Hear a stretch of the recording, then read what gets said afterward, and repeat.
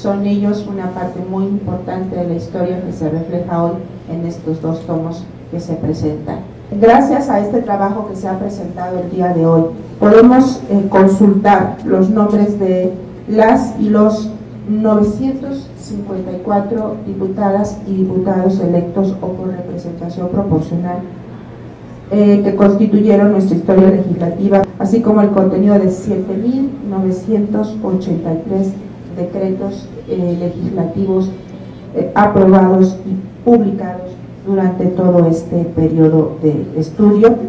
También hemos podido conocer que ha habido presencia femenina en el Congreso del Estado registrando a 87 mujeres. En ese sentido, la 63 legislatura actual del Congreso del Estado de Hidalgo tiene un 40% de representación femenina.